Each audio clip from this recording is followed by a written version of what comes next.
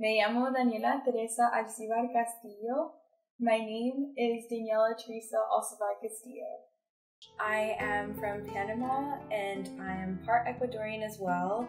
I was born in the city of Panama, but I was raised in Santiago in a little town called Montijo, which is out in the country of Panama.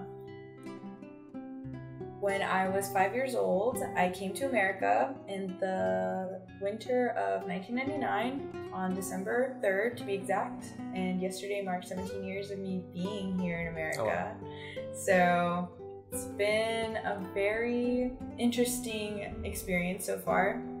I am an artist. I focus on many different mediums because I love experimentation but my main focus throughout my art is my culture as well as my family's history. Um, when I did start out using my culture, in my paintings, I painted more of my Panamanian side and my Panamanian culture, but I incorporated the colors of the Ecuadorian flag, which are red, yellow, and blue.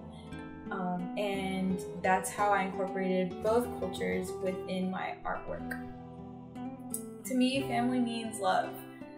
As a mother, I have this great love for my son that I feel like nobody can take away.